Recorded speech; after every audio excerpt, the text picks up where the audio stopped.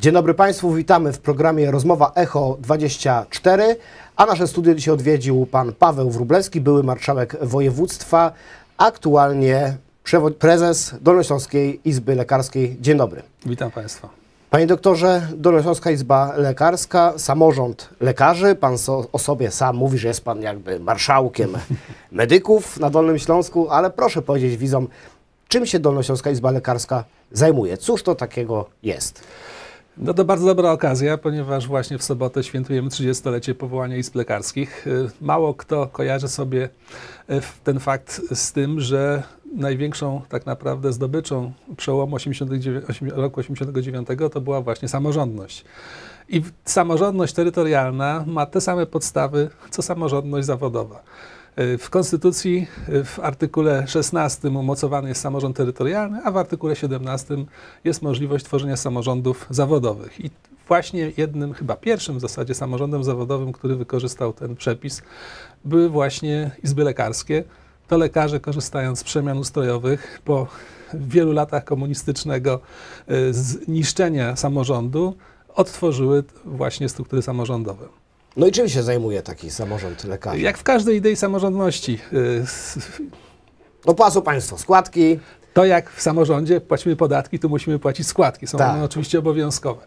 Natomiast oczywiście u podstaw idei samorządności leżało przeświadczenie, że ludzie, którzy no, zajmują dany zawód czy dany obszar terytorialny, najlepiej znają swoje potrzeby i najlepiej potrafią zarządzać swoimi zasobami. Z tego założenia wyszła również idea samorządu zawodowego. W związku z powyższym właśnie 30 lat temu przejęliśmy po pierwsze obowiązki od administracji państwowej, przyjęliśmy rejestry y, lekarskie, wszelkie sprawy związane z wydawaniem prawa wykonywania zawodu, z certyfikowaniem zawodu. Do tego przejęliśmy również w pewnym sensie odpowiedzialność zawodową, tak więc kolejnym takim filarem obo- obok prowadzenia rejestru wszystkich spraw lekarskich jest właśnie y, lekarski sąd i rzecznik odpowiedzialności zawodowej. No i oczywiście przejęliśmy też na siebie kształcenie ustawiczne, które wcześniej było finansowane w różny sposób z budżetu państwa y, i organizowane przez uniwersytety czy przez instytucje państwowe. Także w praktyce i tak to zresztą wygląda do dzisiaj, jeśli chodzi o kwestie rozliczeń. Przejęliśmy część spraw administracyjnych, które do tej pory były w gestii wojewody. Do tego dołożyliśmy te wszystkie elementy, które są niezwykle, niezwykle ważne dla, dla funkcjonowania zawodu lekarza. Także kształcenie, piecza nad wykonywaniem zawodu, nadzór. No tymi wszystkimi od lat zajmujemy się. Jesteśmy dosyć dobrze zorganizowanym samorządem, chyba najlepiej, jeśli chodzi o wszystkie samorządy zawodowe. I- I świętujemy. Mam nadzieję, że ten rozwój będzie szedł w dobrym kierunku, że dogonimy kraje zachodu, bo w większości krajów zachodnich samorząd lekarski jest bardzo mocno umocowany, łącznie nawet z kształceniem podyplomowym i egzaminami. U nas tego jeszcze niestety nie ma, ale walczymy o to. e, służbę zdrowia na zachodzie faktycznie niektórzy lekarze doganiają, ale w taki e, no, bezpośredni sposób, bo po prostu uciekają na zachód. E, to faktycznie jest tak duży problem, jak się często e, mówi w mediach, że lekarz z Polski no, za chlebem, za lepszym wynagrodzeniem wyjeżdża do Europy Zachodniej. Może aż tak wielki, jakby się wydawało, nie jest, ale rzeczywiście jest taka możliwość. Żyjemy w tej chwili y, w wolnej Europie, we wspólnej Europie. Praktycznie zrównaliśmy już wymogi, jeśli chodzi o kwestie kształcenia ze wszystkimi krajami europejskimi, także tylko bariera językowa w zasadzie przeszkadza przed wędrowaniem sobie za lepszą pracą, nową czy ciekawszą po Europie.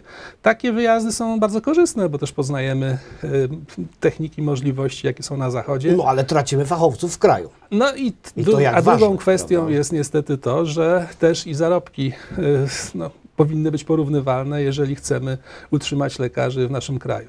Jak nasza sytuacja wygląda, wszyscy wiemy. Nie jest tak do końca, jak się mówi, że tych lekarzy jest aż tak bardzo za mało, ponieważ no, wielokrotnie analizowaliśmy rejestry lekarskie i tak te średnie europejskie, które, którym się epatuje społeczeństwo, tak nie do końca nam wychodzą z tych naszych obliczeń, ale faktem jest, że na przykład na Zachodzie y, kształcenie medyczne poszło w zupełnie innym kierunku. Lekarz w tej chwili ma do swojej pomocy cały sztab pracowników, asystentów, flebotomistów, którzy zajmują się pobieraniem krwi, techników operacyjnych. Tam nie wstaje do zabiegu trzech wykwalifikowanych chirurgów, tylko stoi chirurg plus na przykład dwóch techników techników. Także wydaje mi się, że tutaj jest problem e, z pewną taką nowoczesnością i takim podejściem praktycznym do naszego zawodu. E, zakładając, że e, mogą pojawić się poważne braki kadrowe w Dolnośląskiej Służbie Zdrowia z uwagi chociażby na te wyjazdy, to czy lekarz z Ukrainy może być członkiem Dolnośląskiej Izby Lekarskiej, może być lekarzem w Polsce? No jeśli tylko spełni oczywiście wymogi. Akurat w przypadku lekarzy z Ukrainy jest oprócz kwestii językowych konieczna certyfikacja dyplomu. I jeżeli ma jakąś specjalizację, y, właściwie uznaje tej specjalizacji przez ministerstwo, co nie jest łatwe, ponieważ system kształcenia na Ukrainie jest zupełnie inny niż w Polsce. Y, w praktyce najczęściej jest tak, raz do roku rozdajemy prawo wykonywania zawodu w taki uroczysty sposób i rzeczywiście zazwyczaj kilku y, najczęściej Polaków pochodzących z Ukrainy, takie prawa dostaje, choć tam na przykład byli już okulistami. Także najprostsza ścieżka to oczywiście jest język, nostryfikacja dyplomu na uczelni i jednak zaczęcie chyba tej kariery e, medycznej od początku. Natomiast powtarzam, nie jest aż tak wielkim problemem e, sam brak lekarzy. W tej chwili chyba największym problemem są pewne zjawiska, które obserwujemy na Dolnym Śląsku od jakiegoś czasu. Ucieczka lekarzy ze szpitali publicznych i zatrudnianie się w prywatnej służbie zdrowia. Na Dolnym Śląsku mamy około 15 tysięcy lekarzy, z czego 70% to Wrocław. Także we Wrocławiu Wydawałoby się, że mamy nadmiar, natomiast rzeczywiście w regionach jest bardzo trudno. Tu bez zmian, organizacyjnych, bez odpowiednich działań związanych ze zmianą struktury funkcjonowania ochrony zdrowia nic się nie poprawi. Zwiększenie liczby studiujących lekarzy spowoduje tak naprawdę, tak jak Pan powiedział, po prostu ucieczkę. E, panie doktorze, ale no, lekarze uciekają w cudzysłowie z publicznej służby zdrowia do prywatnej, no bo w prywatnej się więcej y, zarabia. No trudno y, się dziwić młodemu człowiekowi, że chce zarabiać więcej, prawda? Znaczy młodemu, nie młodemu, no po prostu każdemu człowiekowi, że chce zarabiać więcej. No, stąd też wybiera pracę w prywatnej y, służbie zdrowia, czyli co? No taką receptą byłoby chyba podwyższenie zarobków lekarze w Oczywiście, że tak. No teraz jest tylko pytanie, czy faktycznie to podwyższenie, te, te, wyższe zarobki prywatnej służbie zdrowia wynikają z tego, że ludzie płacą więcej. No nie do końca. Popatrzmy sobie na naszą, na choćby wrocławską sytuację y, w ochronie zdrowia. Na północy szpitala mamy trzy szpitale marszałkowskie. Na skutek kompletnie y, no, braku w zarządzaniu takim systemowym doszliśmy do tego, że w zasadzie też trzy szpitale powoli zaczynają się dublować. Mamy mało neurologów, mamy mało pulmonologów, mało endokrynologów, to po co kilka oddziałów obok siebie? Trzeba tworzyć centra. Jest, naprawdę są instrumenty, które nawet w rękach lokalnego samorządu można by wykorzystać, żeby poprawić sytuację w ochronie zdrowia. No ale do tego trzeba niestety działań i wiedzy. No i tu jest w moim przekonaniu problem. Wtedy faktycznie, jeżeli będzie Pan miał zamiast trzech rehabilitacji obok siebie jeden duży oddział, to nie będzie problemów kadrowych i też obłożenie sprzętu diagnostycznego, terapeutycznego będzie takie, że będzie można mieć po prostu większe pieniądze i zapłacić po prostu więcej pracownikom. E, panie doktorze, co się dzieje na sorach? Bo to jest e, coś, co do, do szału doprowadza e, pacjentów, a właściwie kandydatów na pacjentów, bo ludzie przychodzą, stoją w kolejce często wiele, wiele godzin, zanim zostaną przyjęci do lekarza. Tak być musi? Bo to, to jest zmora jest, i to właściwie to, to jest efekt tego samego, o, o czym właśnie mówiłem. Generalnie u nas reforma z tej intensywnej opieki medycznej sorowskiej nie wyszła za bardzo. Jak zwykle próbowaliśmy przeszczepić na nasz grunt system, którego nie do końca rozumieliśmy. Na zachodzie nie jest tak, że każdy szpital ma swój SOR. Są, SORy tak naprawdę na zachodzie to są wielkie centra urazowe, które rzeczywiście y, działają całą dobę i są w pełni specjalistycznie przygotowane do naj, najbardziej skomplikowanych zabiegów. Owszem, jeżeli mamy bogaty kraj, jest dużo pieniędzy w systemie, no to sobie można takie SORy tworzyć. W naszym przypadku niestety najlepiej funkcjonował system dawny, system zespołu opieki zdrowotnej, podziału y, Wrocławia na terytoria i kolejno ustalania dyżurów pomiędzy szpitalami. Wtedy kadra była najlepiej wykorzystana, pieniądze były najlepiej wydane i do tego systemu prędzej czy później będziemy musieli wrócić. No dobrze, Panie Pawle, zostawmy służbę zdrowia. E, pan jest też samorządowcem, politykiem, więc chciałem zapytać no właśnie o politykę, a konkretnie o prezydenta Jacka Sutryka. Właśnie minął rok, odkąd objął urząd, no i poprosiłbym o krótkie podsumowanie prezydentury. Ja mam taki, można powiedzieć, chyba charakter jak większość Polaków. Jak kogoś atakują, to ja zaczynam się zastanawiać dlaczego i zaczynam go żałować.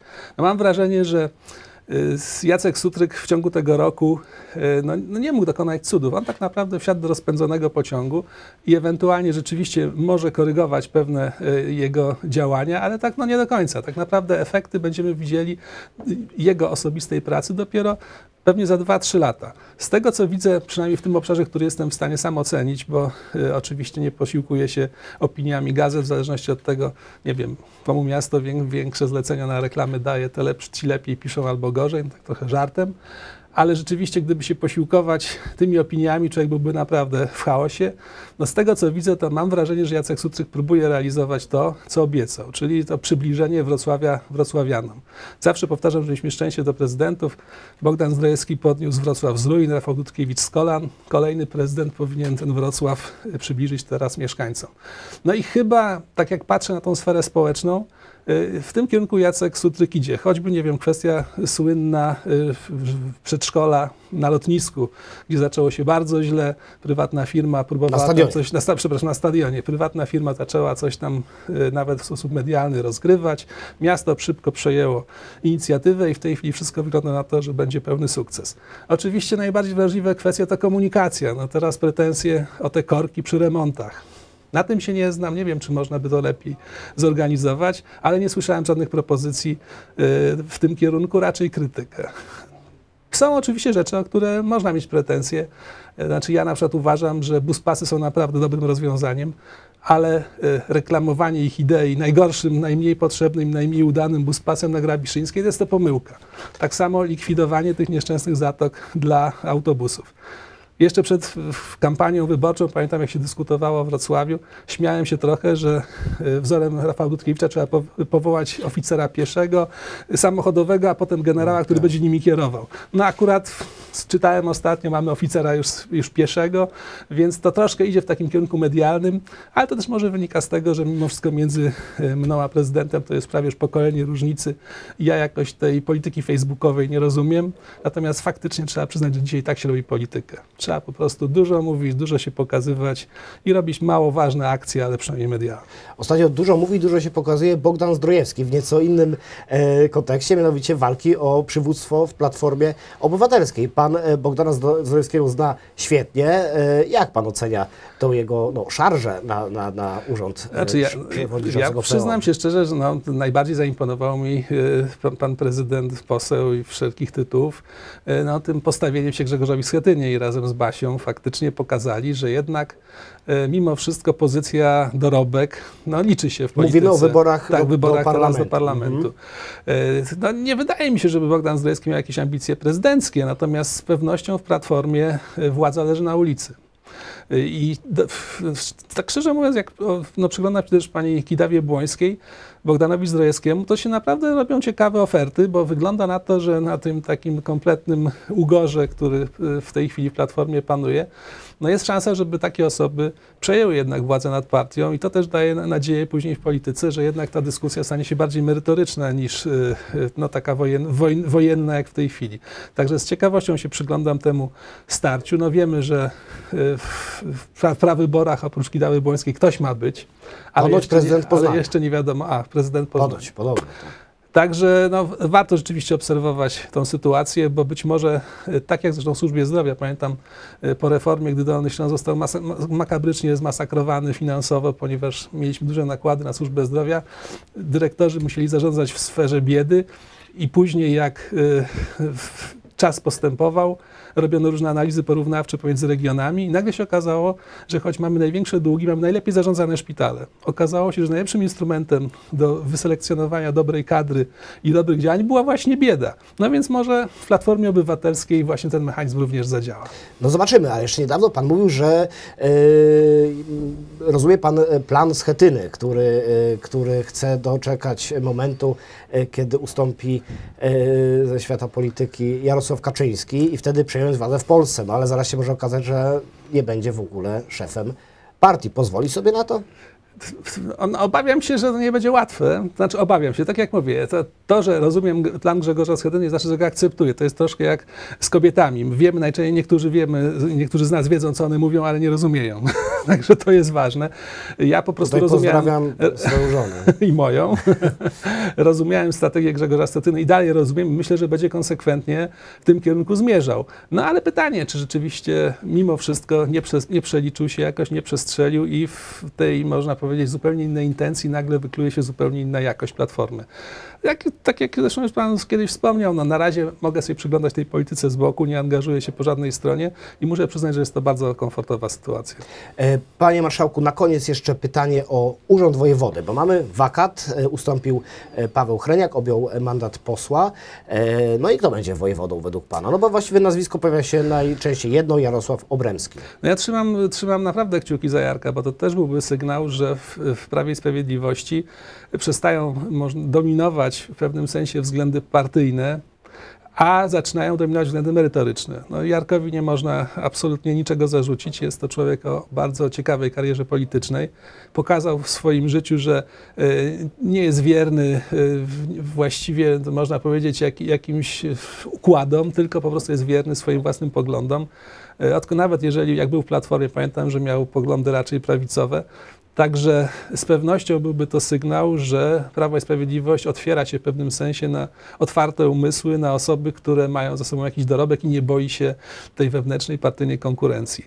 Martwię się troszkę teraz o to przynajmniej, co jest e, eksponowane w mediach, o ten konflikt tak zwany między pomysłami dotyczącymi e, emerytur, pomiędzy e, pre- pre- prezesem Gowinem a prezesem Kaczyńskim, ale mam nadzieję, że takie sprawy nie wpłyną na nominację i że jednak Jarkowi się uda. No, y, na koniec ja może dodam, że, że y, Jarosław Obremski nie jest członkiem porozumienia. On kiedyś po prostu był kojarzony z Gowinem, no bo panowie się bardzo dobrze znają. Natomiast nie jest też zresztą członkiem PiSu, prawda? Tak jest. Nie, to był rzeczywiście okres, gdzie Jarosław Gowin zbliżał się do naszej grupy, do Rafała Dudkiewicza.